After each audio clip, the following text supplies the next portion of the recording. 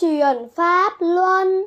Này chư tỳ khiêu khổ thánh đế là, tái sanh là khổ, già là khổ, bệnh là khổ, chết là khổ. Phải sống chung với người không thương yêu. Hay gặp cảnh trái ý nghịch lòng là khổ. Phải xa lìa người thương yêu hay mất cảnh vừa lòng là khổ, cầu mong mà không được như ý là khổ.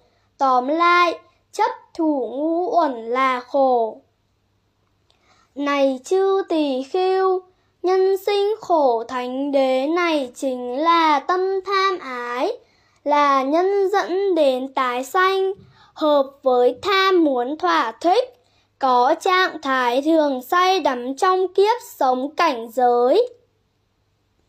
Nhân sanh khổ thánh đế là dục ái, hữu ái, phi hữu ái.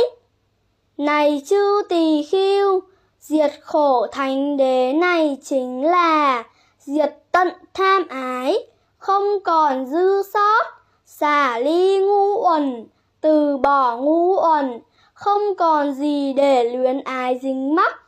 Này chư tỳ khiêu pháp hành dẫn đến diệt khổ thánh đế này chính là bát thánh đạo.